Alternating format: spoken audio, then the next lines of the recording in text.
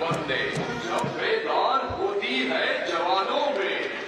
نظر آتی ہے ان کو اپنی منزل ساتھ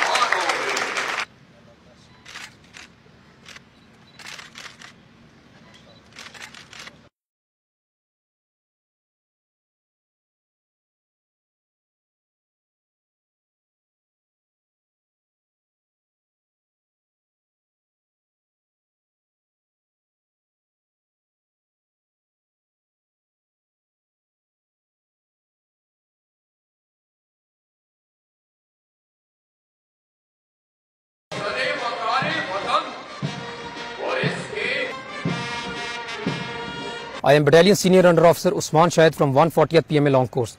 Today, I have been awarded with Sword of Honor for being the overall best cadet of my course. Besides my hard work, this honor has been bestowed upon me due to efforts and prayers of my parents, best training at PMA and dedication. Inshallah, I will work with the same zeal and commitment in future and live up to the trust of my nation and expectations of Pakistan Army. I am Company Senior Officer Qasim from 140th Long Course. Today I have been awarded with the President's Gold Medal for being the overall second best cadet of my course. Besides my hard work, this award has been bestowed upon me due to the efforts of my parents, best training at PMA, and my dedication.